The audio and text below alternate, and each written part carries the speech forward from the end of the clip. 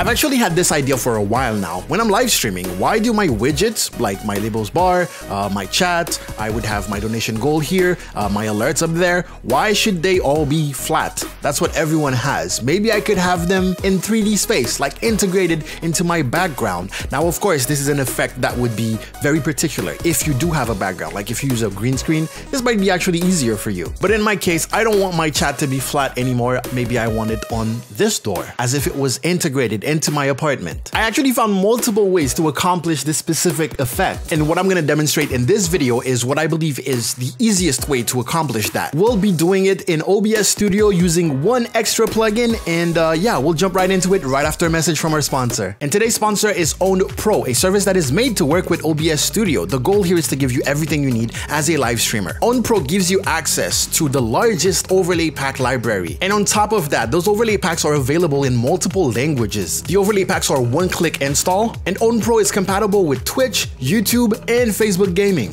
If you already tried OWN3D Pro and you're having issues with OBS 28, make sure you log into your dashboard and check out the instructions right here. And if you haven't tried it yet, make sure you check it out at own3d.gg slash Pro. That is own3d.gg slash Pro. Also, use code GAEL to get 50% off at checkout. Oh hi, we're back. So the one plugin we're actually gonna use is one that I already talked about, it's StreamFX. I made this video on how to install it, but seven days ago, the people at StreamFX actually commented on that video saying, hey, just updating you that the installation method has changed. We now support system-wide and user-only installation, both of which no longer install into OBS Studio directory. It should now be significantly easier to install StreamFX. But if you don't know what it is, it's basically a plugin that adds a bunch of additional source filters. Watch my previous videos to learn about all the filters that it adds. In this video, we're just gonna be using one or two. I will of course put a link in the description so that you can download and install it yourself. We open up OBS Studio and this is supposed to be in what we call your just chatting scene where your camera is basically full screen. So let's create this scene. Under source, I'm gonna click on the plus and go find video capture device. That's gonna be my camera. And here it is. I'm gonna click OK. And one of the things that we're gonna think of in advance is where are we going to put our widgets? They're gonna be in 3D space. They have to be in the room. They need space to be in the room. You don't want to just put them floating in the air, right? So camera placement is gonna be something very important. In this specific case, I'm gonna turn my camera a little bit so I can get more of that door right there. This would be a good camera placement. It's also important to place it in a way that you're not gonna interfere. What are the odds of me doing this during stream? Uh, they're very low. You know, I'm gonna speak like this and most likely I'm not gonna really interact with this. I also feel like I can utilize the space where this neon sign is, so I'm gonna take it down just for this video. And then from there, you can add all the widgets, images, videos to your scene. For example, I already have my labels bar created in Stream Elements as a browser source. I can just copy the URL and then come back to OBS. Click add, go to browser, name it labels, click OK, paste the link, and play around with the size until it fits. I'm not sure of the size, so I'm just gonna come here, click on that background image and see that it's 1436 by 62. So I can put 1436 by by 62. Press OK. So this is something that I would place in the middle somewhere like that, very flat or something like that. And we're gonna try to actually put it maybe on top of my light there. Maybe that would work. I'm gonna go ahead, place it like this. Maybe scale it down just a little bit. Now we're gonna right click on it, click filters, click the plus to add a new filter, and we're gonna find 3D transform click OK. And there's multiple modes. There's orthographic, there's perspective, uh, and then there's corner pin. Corner pin is basically you're gonna drag the corners until it looks like it belongs there. And I believe it's one of the best ways of doing it. So you can basically play around with all of those settings. Those are each corner pins, basically. So top left is gonna be this, right? You can move it on the x-axis or the y-axis up and down. Now in our case, we will notice that if you drag this, it doesn't go out of the boundaries, right? So having the web browser size be bigger might be in our advantage. Let's go back, double click on the labels, and at the bottom instead of 62, let's put the 600 that we had. Go back to filters and 3D transform. And on the top right pin, I'm gonna drag the Y axis until I feel like it matches roughly the perspective of my room. Okay, that's not too bad. And I can always go in and, you know, drag like this Now we definitely run into the issue of visibility. In this case, I would probably redesign this whole labels bar to have maybe only two labels just so I can have the text be way bigger. Or I would just place it somewhere else that is uh, flatter with less perspective. But you kind of get the idea and now we're basically going to be placing more stuff. Another idea would be to combine this effect with some masks so that you can place stuff behind other stuff, make it more immersive, make it really look like it's in the room. But let's continue for now.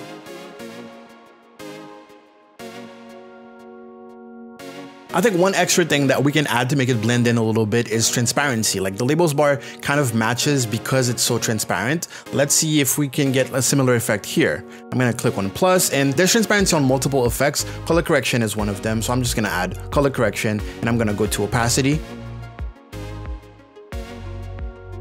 There you go. In my case, I'm using a camera that makes my background more blurry, so I'm getting bokeh. I could add a blur effect because that's one of the effects that StreamFX brings to make it really blend in, but I don't want to sacrifice uh, clarity for it, so I'm going to keep it that way. So for the widgets that are transparent, uh, like your chat box, for example, until someone types something, what you can do is select set chat box and under Stream Elements here, you're going to see background color, and we're just going to change that to an opaque color. That way when we place it in our scene, we'll see what we're working with. And you can see that's what it looks like. So what I'm doing for each source is I'm giving more space when it comes to the size. For example, this is a 300 by 600 chat and what I put here in order to have this space is 400 by 800. So I know when I skew it, basically I'm gonna need some spot at the bottom and some spot maybe on the right. Same thing, 3D transform, play around with it, pick a spot and you're Gucci. For example, in this case, you would probably want to mask out the PC case, but I like to imagine that this is like more aesthetic. So I wouldn't mind the fact that we don't see the chat. And in all honesty, I would probably have the chat be the whole door. I actually have no idea if adding a mask would work in this situation, but you get to see me try it right in front of you. So what I would do is use a screenshot to get the accurate size ish. I would go to view full screen and I'm gonna press uh, Windows key, Shift and S to bring up my snipping tool and basically kind of trace around this rectangle. All right, that is copied into my clipboard. I can either open up Photoshop or Photopea to create the mask. In order to avoid the I don't have Photoshop comments, we're gonna use Photopea, new project, and it's probably gonna already have the dimensions that are in your clipboard. You can see here, I click create and boom, would you know it? If I press Control V, boom, I will have this and I can use the pen tool in order to mask everything out. Control plus to zoom in. Gonna make sure that my pen tool is creating a path and not a shape.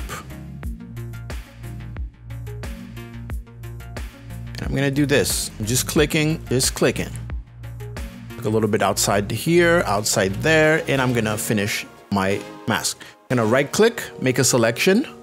I'm gonna create a new layer, and with the paint bucket tool here, I'm going to fill it with white. When creating masks like that, most of the time, white reveals, black hides. I'm gonna click once more, right? And since black hides, I'm going to pick the background and I'm gonna control, I press control D to deselect. I'm gonna press Control I to invert it, so black hides, white reveals. I actually want the opposite, I just realized that. So let me do the opposite. I'm going to Control I on our mask to invert the color. And now I can save this. Save as PNG. And we're gonna call it mask. Okay, now it's time to test our uh, theory. I'm gonna right click, go to filters on that chat. I'm going to click plus and find image mask blend. Click OK. I'm gonna go ahead and click browse and go find that mask that we created and uh, it works. what? It actually works perfectly. That's great. And as you can see, it cuts out. It's, it's not like totally perfect. We can probably move this to get away with more. If I click on it and I press the arrows on my keyboard, maybe down a little bit. There you go. But technically, if I type something in chat, I'm gonna ask 8ball if this video is gonna do well. Will this video do well? Better not tell you now. That's the life of a YouTuber. so as you can see, my chat is here. Of course, the background is not the right one, so we can go back and uh, get rid of that. And I would probably want my text to be black since my door is a bright color. Okay, cool. Now I have to type all of that again. All right, and here it is. You can see it's kind of like, uh, it's hard to read, probably because we added that color correction opacity thing and we can play around with that, of course. Boom, if you want it to be more visible or less visible. You can also play with the contrast if you want the names to pop a lot just like that.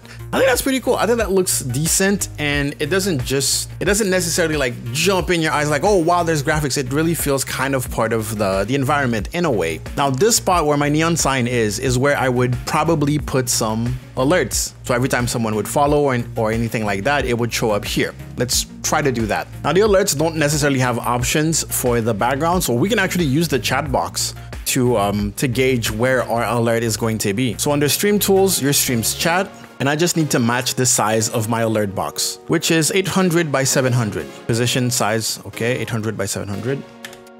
There you go. In the layers, I'm gonna put it underneath so that we can still see the alerts. And if, for example, I test an alert under emulate,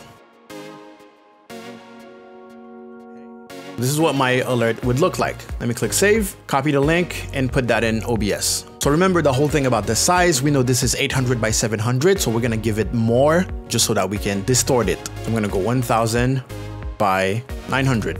All right, gonna scale it down a little bit and do the same things. And we can even do the same technique of masking since we know it works now. I'm gonna add a little bit of blur this time to make it potentially blend a little bit better. 0.5, there we go. Right click, filters, image blend mask, find the mask.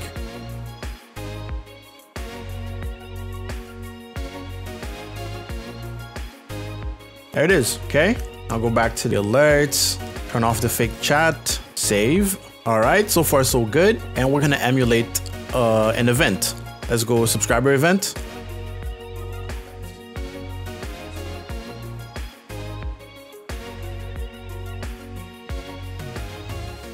There you go. Now, of course, with my light behind it, it's not perfect. Um, the fact that it's super sharp against the blurry background makes it look a little bit weird. And uh, as I promised, we can add a little bit of blur. Filters plus blur.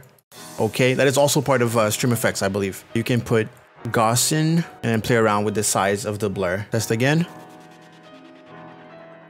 Okay, it looks more part of the background when it's blurry, but uh, 5 might be a little too much. Of course, you run into the issue of uh, the text not being as readable, so you gotta find the perfect balance or make your text way bigger. We can read follower very clearly.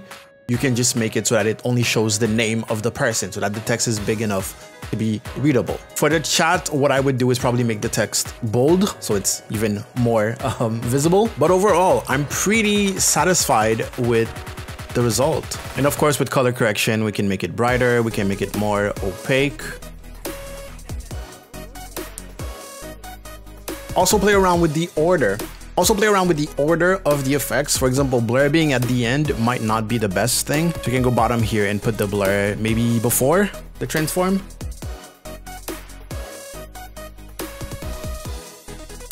I love how absolutely nothing goes where the mask is.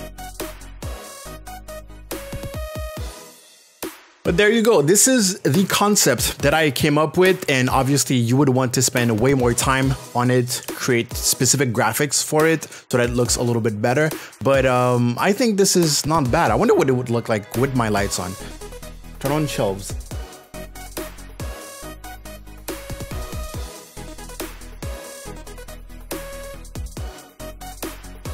Not bad.